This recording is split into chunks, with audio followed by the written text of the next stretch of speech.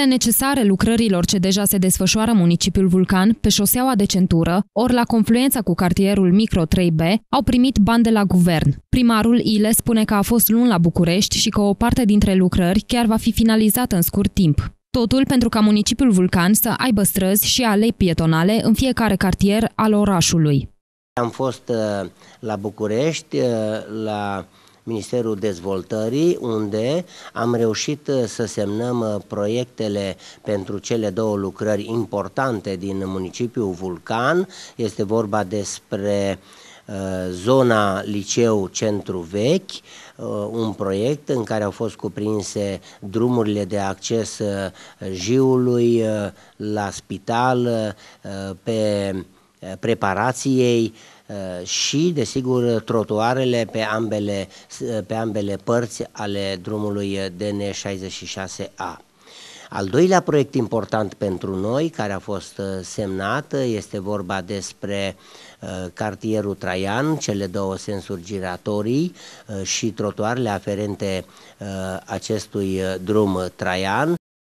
Prima lucrare a fost deja finalizată și primele plăți s-au făcut din banii de la bugetul local, respectiv cofinanțare locală, iar cel din cartierul Traian, spune primarul Gheorgheile, va fi finalizat până la finele lunii noiembrie. Investițiile nu se opresc aici și primarul Ile spune că a mai primit bani și pentru un alt obiectiv.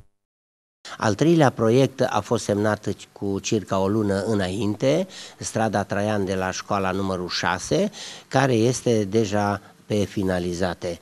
Proiectele au fost depuse în luna august a acestui an la Ministerul Dezvoltării Regionale și Administrației Publice și, imediat după, au și demarat lucrările susținute o vreme din bugetul local. Acum au venit banii și se pot face și de conturile.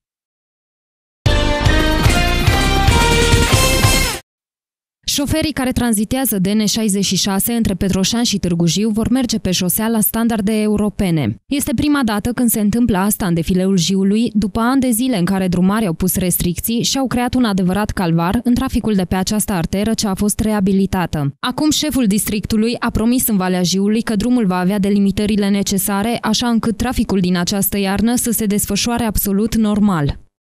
DN66 de fileul Jiului suntem undeva la 85% lucrările finalizate.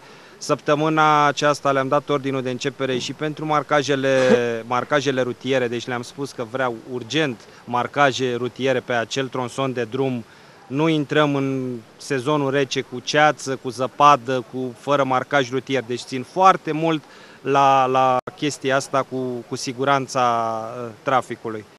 Artera din defileul Jiului este reabilitată și lucrările sunt aproape de finalizare. Aceasta va fi prima iarnă din ultimii ani în care se va circula pe asfalt proaspăt turnat și în primăvară lucrările vor fi reluate în zona mănăstirii Lainici.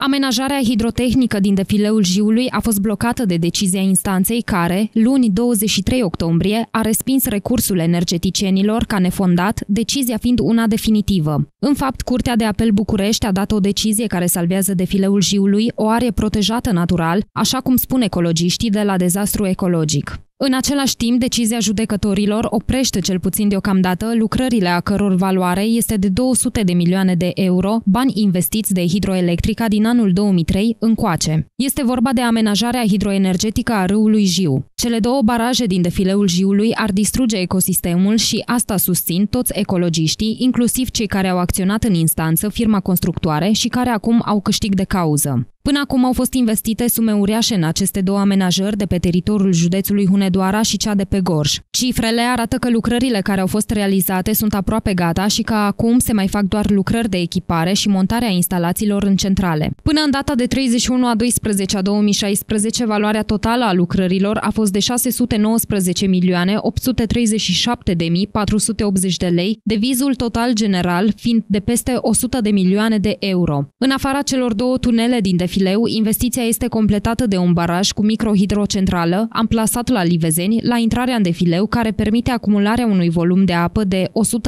130.000 metri cub, precum și de o centrală supraterană echipată cu trei grupuri Francis pentru un debit total instalat de 36 metri cub pe secundă și putere instalată de 40,5 MW.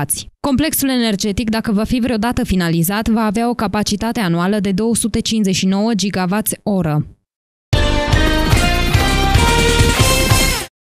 Defileul Jiului, în pasul Vulcan sau în centrul municipiului Vulcan. Acestea sunt locațiile în care militarii în rezervă din Valea Jiului vor aduce un omagiu armatei române. Ceremoniile încep miercuri la ora 10 la Vulcan și se sfârșesc la monumentul din defileul Jiului, închinat generalului Dragalina.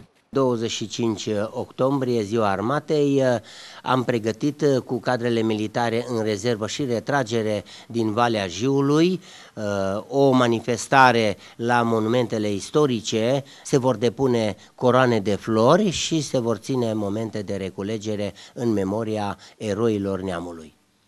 Ziua de 25 octombrie este legată în mod direct de regele Mihai I al României, singurul român în viață care are rangul de mareșal și care, în 1944, era comandantul suprem al armatei. În general, armatele din Occident nu au stabilit o dată anume ca sărbătoare a armatei. Excepție de la această regulă fac Franța, care își sărbătorește armata la 11 noiembrie, Italia, a cărei zi a armatei este la 4 noiembrie și România, care își sărbătorește ziua armatei la 25 octombrie.